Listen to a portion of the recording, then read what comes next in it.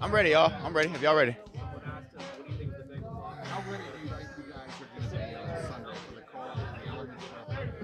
We done played in every weather. Uh, it's not about us being ready. It's about us being prepared for the situation. Um, execute when it's time to execute, and um, you know what I'm saying. Make the first downs and contest- contested catches. That's what it's all about. Do you think last week Lamar is going to really help in that regard, being on the road, noisy environment,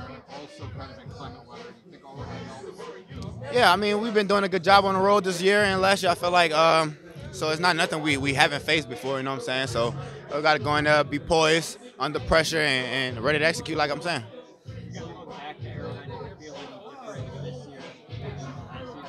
No, not really. Playing for the same thing. Still another game next up on the list. That's next important. So we got to take take advantage of it. How much different did they play you? Hey, Trent, how you doing? What's up, Jeff? How about in that first game this year? How much did they play you differently than they did last year?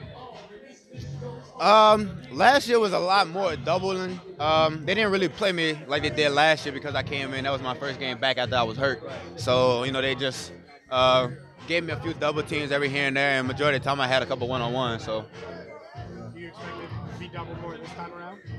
Yeah, I expect him to do it like the second game for real, um, like last year. If anything, that's it.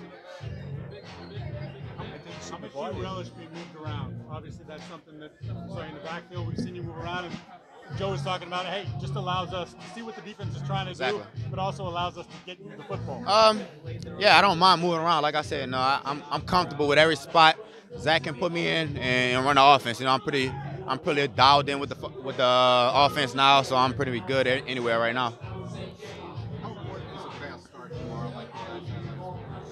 Uh, that's that's what we try to you know overemphasize every week. You know what I'm saying?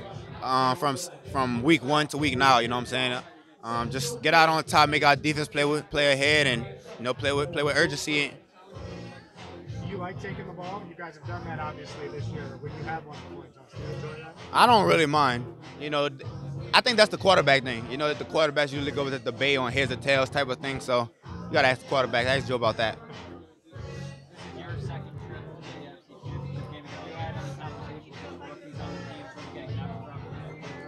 Uh, no.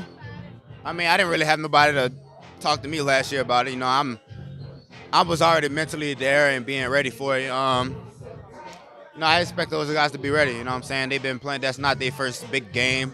I expect those guys to be ready. Every game is a big game in the league, so you got to be ready for it. One of the things that, that stood out to me last year after you guys won is your conversation with Clyde after the game. Yeah. How much do you talk to him during games? I know he's been dealing with some Uh, me and Clyde talk usually, but we haven't been talking this week. Uh, I think last time I talked to Clyde was probably a couple weeks ago. You know what I'm saying? But he's a good friend of mine, close friend of mine. We became best friends at LSU. You know, we still cool now.